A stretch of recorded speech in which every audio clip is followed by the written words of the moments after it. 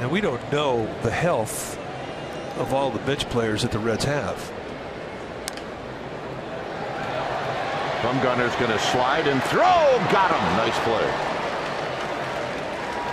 I've seen him make that play like that before, and he does it very well. I, I think he loves things like this. A little bit of a challenge, kind of a fun play. It all hedges on him being able to get to a balance point on his backside and transfer the weight. And here, just almost from from his knee. Slides into it, bare hand, and in one motion comes up, makes a great play. And Lorenzen, I mean, he gets down that line pretty well.